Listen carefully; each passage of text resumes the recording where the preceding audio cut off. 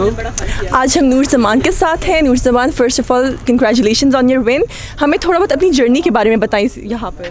Thank you so much आज thirty के का पहला टूर्नामेंट था मेरा फ़र्स्ट राउंड और प्रेशर बहुत ज़्यादा था मेरे पे क्योंकि इजिप्शन तो इससे पहले भी मेरा मैच हुआ है। लास्ट टाइम मैं इसको फ्रांस में थ्री वन जीता था पर आज ओपनिंग मैच है तो स्टार्ट में मैं जीत तो गया खुश तो हूँ लेकिन इतना अच्छा नहीं खेला लेकिन अल्लाह का शुक्र है जीत गया मैच ठीक है और मुझे अपने फ्यूचर प्लान्स के बारे में बताएँ। 2023 के लिए क्या प्लान्स हैं आपके?